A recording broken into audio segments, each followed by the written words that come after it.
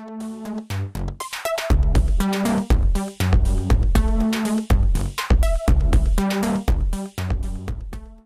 back to GearWire.com. We are looking at Notion, and I'm going to explore the world of uh, orchestration for strings. Now you'll see I've got a nice little layout here. The way I set this up was I went into New, and I selected Violin, Viola, Cello, Bass, and clicked Add, and then clicked OK, and you'll see it gives you a preview over here in the window. Now what I have is I have notes that I've assigned with rests and staccato notes. I'll play those back for you really quickly.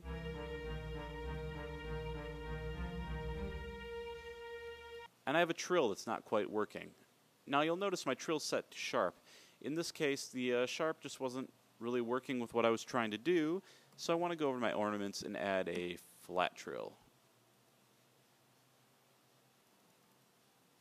Let's play that back.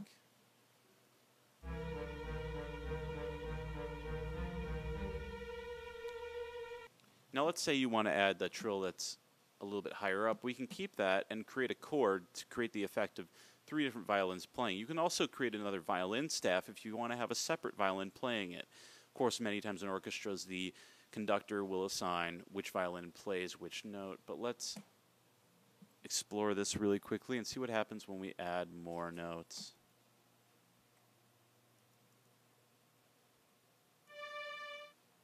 Well, this is interesting. There's actually a bug in the program where I can't get on to my staff right now. You'll see whenever I try to access my staff, I'm getting stuck. So what we're going to do is get out of this and create a whole new staff to make a string line. I'm going to go to New and do what we did before. And now we have a fresh line. Set to common time.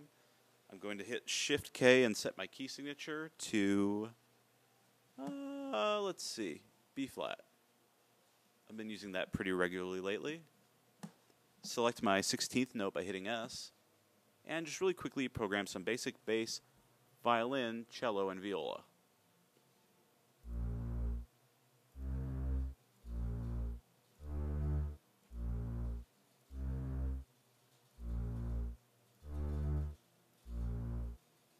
Now, keep an eye out for the fact that you can actually do some copying in here. If I...